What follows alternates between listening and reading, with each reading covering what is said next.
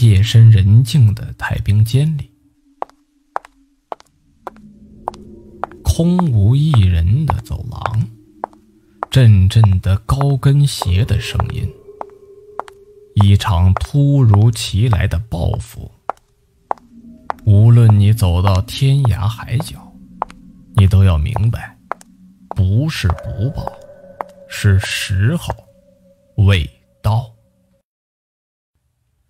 郑阳已经无处可逃了，在这座城市当中，已经没有他的藏身之地了。他变成了一个人人喊打的过街老鼠，警察在抓他，所有的黑道人员都在抓他，导致他现在只能藏在墙角里边，不敢露头。只要一露头，必定会遇到警察和那黑洞洞的枪口，以及黑帮成员那寒光闪闪的砍刀。这不怪别人，都怪他自己。郑阳是一个小流氓，他没有工作，整天无所事事的，靠着坑蒙拐骗来过着日子。这天夜里，郑阳吃饱喝足了之后，就在大街上溜达。可是猛然之间，他看到自己身前出现了一个。穿着打扮十分妖艳的女人，在这个女人前凸后翘，穿着暴露，十分的撩人。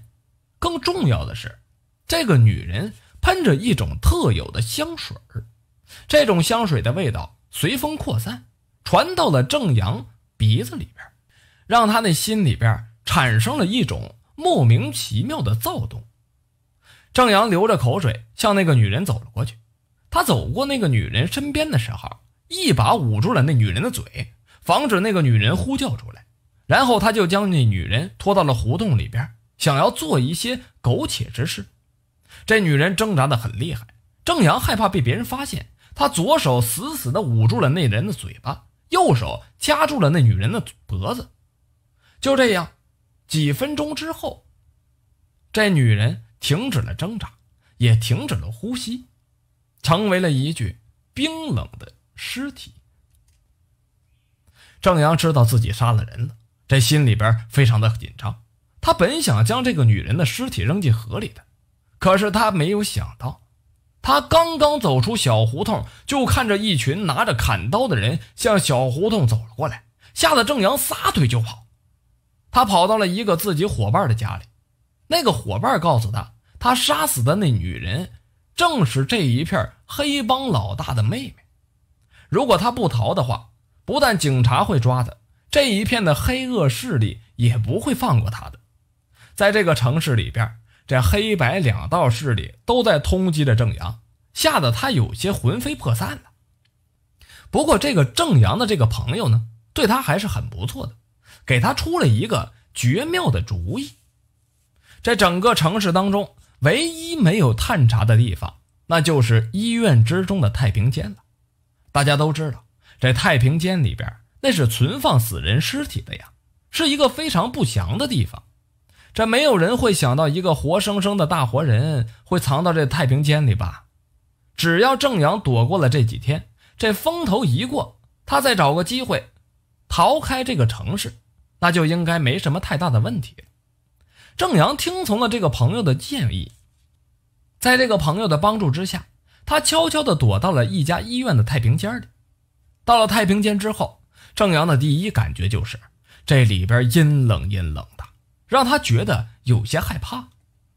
他心中已经打起了退堂鼓了，不想隐藏着这么恐怖的太平间里。可是现在整个城市这黑白两道都在找他，他已经无处可逃了呀。如果走出这个太平间，他面临的将是被杀。为了活命，郑阳没有别的选择，他只能待在这个地方。他那朋友呢，将郑阳送到太平间之后，转身就离开了。而此时此刻，这太平间里就只剩下了郑阳一个活人。郑阳为了更好的掩藏自己，将自己拖得赤条条的，像一具尸体一样躺在了一张床上。然后身上盖了一张白布单，但假扮成尸体，这样呢就不会有人发现他了。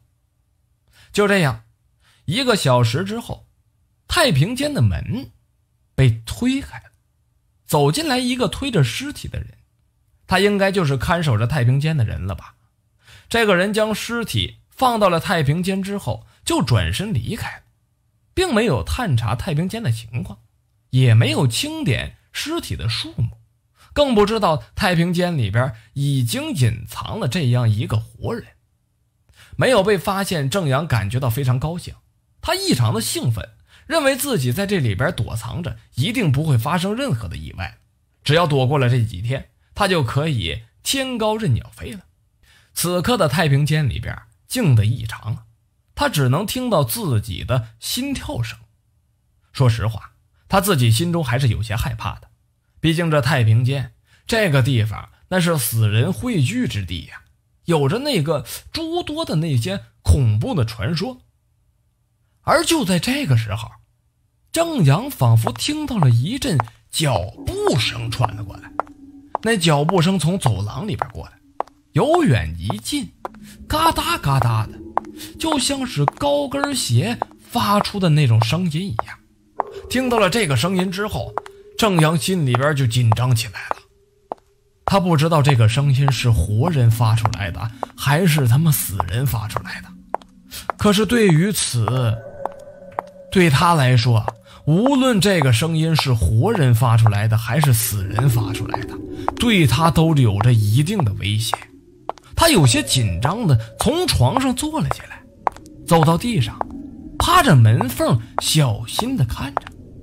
他想要看一看走廊里边是不是有这么一个女人，如果真的有的话，他就尽量的躲起来。可是当他的目光落到走廊的那一刹那，吓得他脸都绿了，心里边听到的那个咔嗒咔嗒的高跟鞋正在继续着，而走廊上却是一个人都没有。郑阳心里边害怕极了，他知道这个声音绝对不是活人发出来的，应该是鬼发出来的。郑阳此时一直的流着汗，他不断的往后退着，用一个白色的床单把自己的身子给包了起来，瑟瑟发抖的蹲到墙角。咔嗒，郑阳蒙的身上的床单被人拉了起来，而且太平间的灯光全部都打开了。他的身前出现了这样的一个女人。当郑阳把目光放到这女人脸上的时候，他大声的惊叫起来，因为这个女人正是他杀死的那个女人。郑阳现在害怕极了，他知道这个女人肯定是来找他报仇来了。他闭上眼睛，跪在地上，不断的向这个女人磕着头，嘴里边呢不断的乞讨着，希望这个女人放过他。可是这女人，并没有放过他。郑阳感觉到自己的身子不听使唤了，然后莫名其妙的站起来，向窗口走了过去。咔嚓的一声，郑阳的手臂向着窗子打了过去，窗子上的玻璃被郑阳一拳给砸碎了。郑阳的右手不听使唤的拿起了一块玻璃，对着自己的身上一下一下的划着。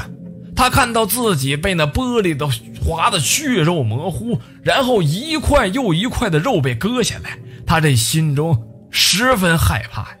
他知道自己活不过今天晚上。虽然他已经意识到了今天可能即将死去，可他当他看到自己手中的那块玻璃正对着自己的喉咙划过去的时候，他依然是发出了一声尖叫声。当这声尖叫声过后，这个太平间里又多了这样一具尸体，少了一个活人。